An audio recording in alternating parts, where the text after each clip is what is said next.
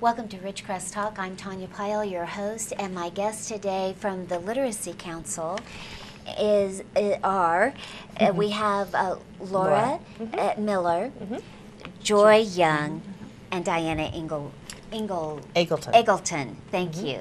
It's my first time meeting uh, Diana, so sorry about that. Diana is the president of the group. Joy is the Retired. president, and uh, I associate you as the founder of the group. But you told me once there was actually um, like a missionary group that handled this, or tell tell me about how you became involved. Well, I used to teach reading at the schools, and then I found out about this particular lady, Lucille Bergdahl, and she and her husband were very involved with literacy down in south part of California. All right. And was the president of the units down there. And when she came to Ridgecrest, she said, "Oh, well, we need to have uh, reading and um, learning for people who do not speak English." So I thought, well, that seems interesting. So I got involved. And I've been there since 1972. All right, Well, and they they sort of got you involved, and then they said, um, yeah, and then they moved in 1990, so then I was my helpers. you you got your helpers Yeah. now, but you sort of uh, well, I kept up with single-handedly the training. We had to be uh, certified to be trainers, so Uh-huh. I did that from 1990 all by myself. Well, I had helpers, but um, I got the And and you used a mm-hmm. program developed by Dr. Laubach. Tell us Yes. about Well, that. Dr. Frank Laubach was a missionary for his church, and he went to the Philippines. And because of the upsets at that time, he wasn't able to get to the villages, but he started working um, little by little and helped the people there. They only had 16 sounds in their language, so it was very easy for him to um, progress, and everybody was learning to read right away. It was wonderful. And um, then he did come back to the States, and unfortunately, he did pass away. But he had started it, so it used to be called the Laubach Way to Reading, and now it's just called the um, Pro Literacy. And that's changed in about the last, what, 10 years, I guess. So.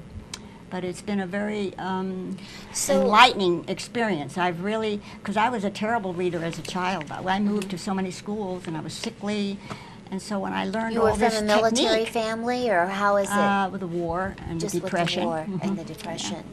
And and so how did the he become involved with the literacy council, or did he found it? Or? Yes, he was the founder of it. Okay, Dr. okay, Frank. Laubach. And then, of course, after he passed away, his son kind of continued it, but then there were other people, bigger businesses, decided this was a good thing to, to teach people. Mm-hmm. You know, we've got to learn to speak English as well as learn to read English. So, Mm-hmm. yeah, because we have such an influx of foreign-born. different Especially languages that come here that to, Yeah. A lot to of communicate. came home with. Do any of you speak a second language to English or I a don't. first language? I don't either. I took some French in school, but I really need to go there to learn the language. You do. I, I, I could not have learned. I sort of have a pretty, a sort of a second language, somewhat. I used to say. I'm not sure I'd say that anymore. But without having been there, it would be very, very difficult to really. Well, And so- ironically, I saw a fellow at the bank yesterday, and he said, "I wish you'd tell me how I can teach somebody English. I don't have any of the books." I said, "Yes, you do. You have the student's book. All you have to do is open the first page, and it starts out bird. Ask him what is that, and then tell him yes, bird, bird, and have him say it over. And we go down cup, dish, you know, fish, mm-hmm. and he said." I never thought about that. So the the literacy Pictures. program itself, uh, and this is the the Laubach method. Yes. That was a very um, successful Very method that he used on the mission field, Mm-hmm. and then. Um, you have some materials, but then the literacy group grew from not only just reading and, and tutoring people in our country who needed help with reading for various and sundry reading uh, uh, reasons, and, and but then you grew to also a, a citizenship. That's true, because we had so many of the sailors and Marine soldiers coming back from the war, Second World War. They needed to teach their families how to speak English. Mhm. And so that was a, an open thing for all over the United States, not just here. Right. But that's how we got started over on the base. And we had a big room, and we'd have maybe 60 people in here. What brought you to Ridgecrest? Oh, that's a long story. Oh. a friend. A friend. a friend was here. I was already married and had children. Was his last name Young? yes, it was. okay, Joy Young. All right. So, uh, who are these two ladies that have been involved with your group and now heading up? of course, our president right now, and she's been president, God bless her, for quite a while. But she works on the base too.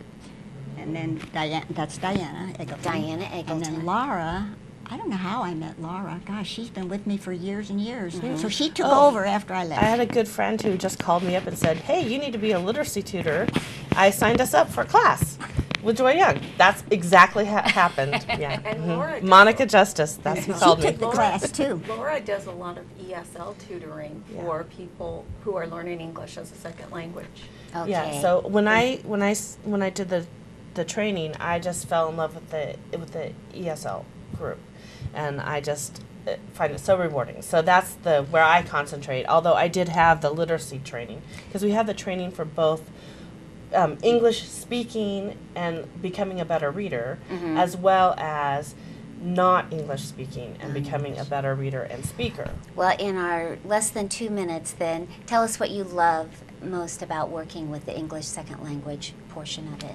Well, I, I have to tell you that these people um, that uh, have been my students have been uh, so committed and so um, thankful and grateful for Mm. for the help they have. And plus, there's a negotiation.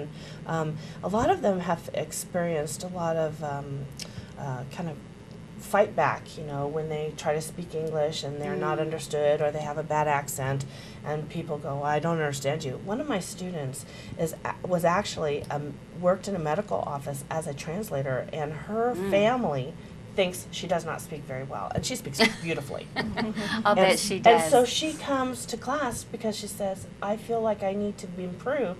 And we heart I mean, she is very a very good speaker. But Mhm. but she's still learning the structure of the language because And, and ling- English is a tough uh, structure tough, of all the languages. Mhm. So we'll get back into some of the issues that come up with uh, all the different things you folks are involved with here, Mm-hmm. uh, and as we have a short little break. All right.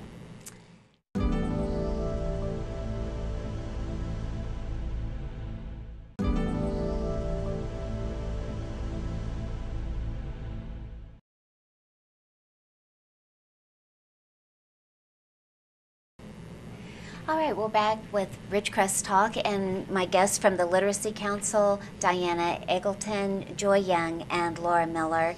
And I think I'll just pick up with Laura. You were talking to us about the English second language portion and that you just fell in love with it. And so, um, well, what would uh, do you have any stories you'd like to share with us, or maybe someone from an exotic place that you've learned from their well, country? um, I have had the benefit of having all sorts of different types of students, Mhm. and um, and one of my students, for example, we have a lot on the base. We have some engineers that come from other countries that come here and um, and speak English, but they don't speak it well. Or they don't Uh, feel or- confident that But they what happens is that is that when they get here, all of a sudden we speak in in um, like a, a, a weird language because we have all these uh, idioms, Sure. these things we say that are not what we mean. Like use your head, for example, and, and they they just do not trans. I mean that doesn't translate, Right. You know, so so I had um, one of my very first uh, first students that I was paired with. Joy was running the program then. She paired me with the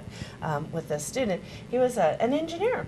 From he- where? From where was he from? God, Peter was from I thought you were from. from uh, from Asia, someplace, from someplace in Okay, an Asia. Asian country. Yeah, and um, and he just he came and uh, and that's what he wanted to study was the idioms. He goes, they said this. What did they mean?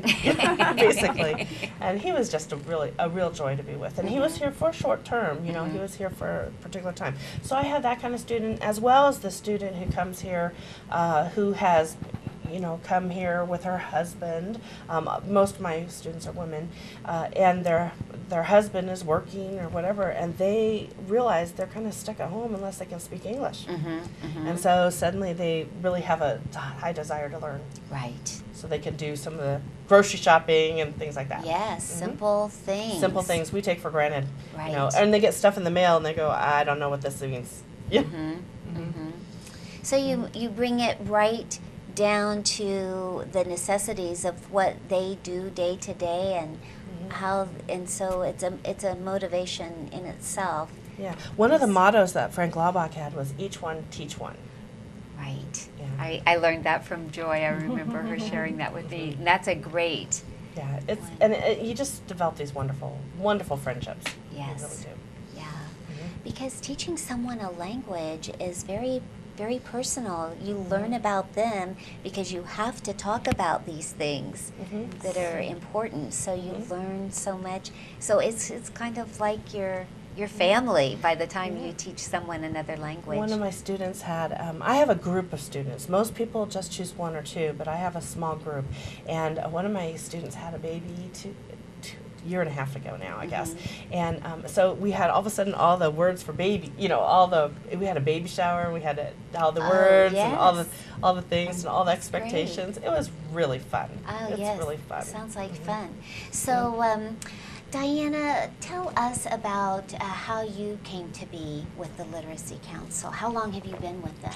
I've been with the group for about 15 years. Oh, And I remember long I I called and left a message and then Joy called me back and she was so friendly and so joyous that I knew it was a group that I wanted to belong to. And she taught she is considered a legendary tutor and she did all of the tutor training. So I went to one of her classes and I started out tutoring in lit, what we call literacy tutoring or reading improvement tutoring Okay. three teenage young women. And but now I don't tutor. I'm more involved in the other aspects of the group, such as one of the things that I do is I order books for our Christmas program. oh, And in that Christmas program, what we do is we order books from Scholastic, so we get a discount on them, and we give them to the families of people who pick up Christmas food baskets at the Salvation Army on Down Street. Mm-hmm. And we, Laura and I normally do this once a year, and sometimes other, other people, Joy's been involved in it too.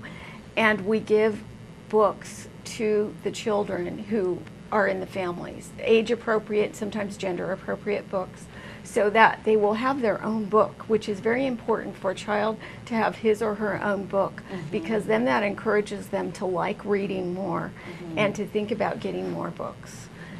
And that's one of the programs that we do. And the people and the parents are very appreciative of that to not just get the food basket, but to get the books for their children at Christmas. yes, yes. Because what a nice Right. gift. And another program we have, and these programs were in place before I joined, so they've been in place for years. Mm-hmm. They set up a program in which we give books to the Ridgecrest Regional Hospital so that each new mother who has a baby is given a book so that she can start reading to her children at a very young age. uh-huh. That's one of our other programs. Um, we also like to attend community events.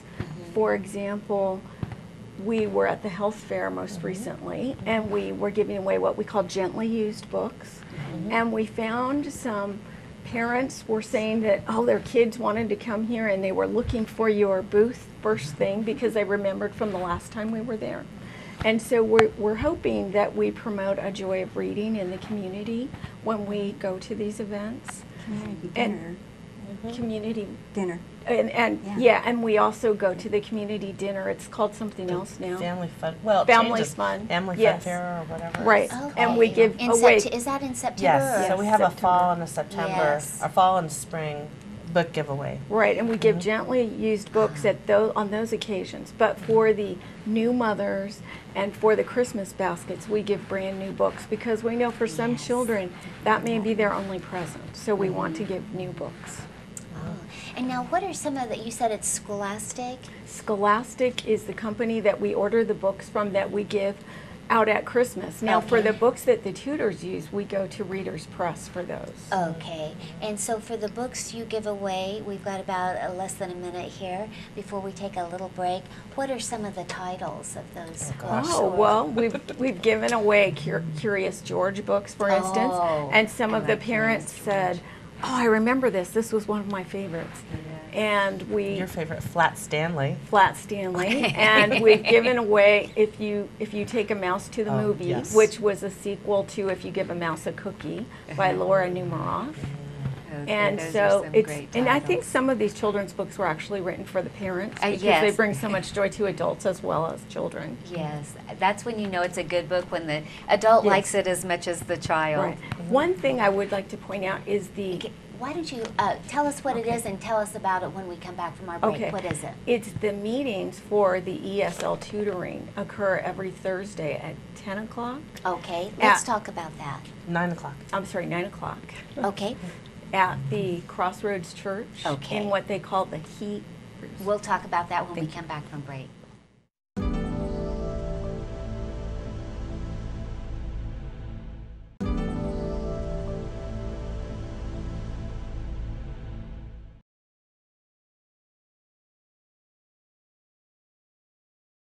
Welcome, welcome back to Ridgecrest Talk with the Literacy Council, Laura Miller, Joy Young, and Diana Engel- Egleton. And Diana, you were about to tell us uh, something, and Oh, well, I wanted, I wanted to mention that the group that Laura tutors, as well as other students, along with other student, other te- teachers, tutors, meet at Crossroads Church on Thursday mornings at nine o'clock. all right. And so if somebody wants to get a tutor and they want to learn English as a second language, they could just show up at that time and date and then they would be placed with an English as a second language tutor. How many tutors do you have with you now? Do you?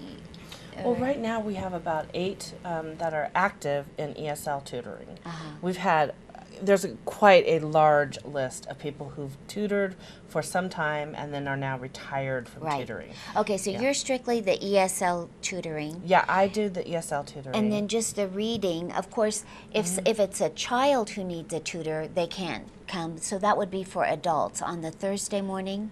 um, the the Thursday morning is, is for ESL. Okay. Okay. English as a second Yeah. Okay. It is, in the summer, there's a break. So it, it starts up again in September. Yes. Mhm. Yeah. Okay. Yeah. All right. So right now you're on break.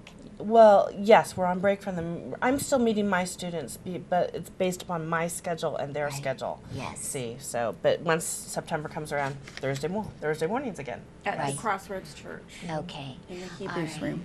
And what about someone? I mean, do you tutor if someone wants a tutor for their child or for themselves? Uh, uh, there's a there are adults who who would like help reading, right? Yes. Right, children and adults who want to improve their reading. All right. And we have done tutoring for that. They call. They'll call us, and then we set up uh, a tutor with them. And so then they're matched, and then see if that's a good match. Sometimes it isn't, but most of the times it is. Okay, so aside from the reading and aside from the English second language, um, who, uh, Diana or um, maybe Joy, which would you? We're, we're missing someone from your group who is Esther Cruz. And Yes. she was out of town today, and she does the citizen group course. And uh, now, Joy, you gave me these little notes that she goes over court structure, legislative branch, and the U.S. Senate. Who's in office right now? The book is made for the, the whole term, uh, like the president and so forth. And uh, so they learn all about that, judicial stuff. Mm-hmm. And then they learn the, the things, I even have a map, they, that we, we show them where parts of America are. You know, that they, we want them to know the United States. Mm-hmm. And so that, that part of, is in this. So they learn a lot about America. All right. And Esther Cruz normally conducts these classes at the Emmanuel Ministry Center, the Emmanuel Christian Church Ministry Center. In the paper and the swap sheet too, when it's And- oh, and you were saying it comes up when? Tell us in- when it comes up. it's- February. It's advertised in February, and now she's teaching the classes in March, is And my April. understanding. March and April. March and April And on how Tuesday long is the nights. course? I'm sorry. Is it eight weeks? I think I so. think it's That about sounds eight about right. weeks. Yeah, that And sounds I right. wanted to mention that Esther does teach some English while she gives the classes. Mm-hmm. And she indicates that by the time the students are finished with the classes, they may be speaking some more English, but it may be with a New York accent because Esther Cruz is from New York and she Oh. still has her accent. That's funny. That's cute. Well, that's all right. It's uh, it's English. So, Uh, are you familiar? Who's most familiar? Would like to tell us about the citizenship course? I think that's wonderful. It's exciting. How many people do you usually have go through the program? Sometimes 12, 15, I think they had 18 this 18, year. 18 mm-hmm. last that year. right? This year. Yes. I think they had 18 It's two hour class twice a week for a month. Uh-huh. And they do pay for their own books, and that is about $20 for the books. Uh, for the books. But they get to keep them.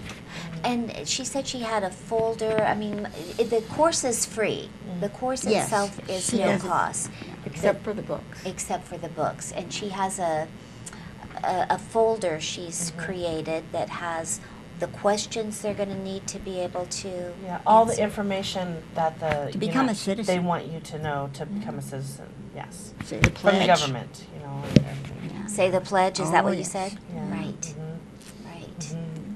There's all sorts of there's all sorts of different things in that bu- in that folder. There is an expensive fee that they pay to the United States government to become a citizen. But And what i- is that?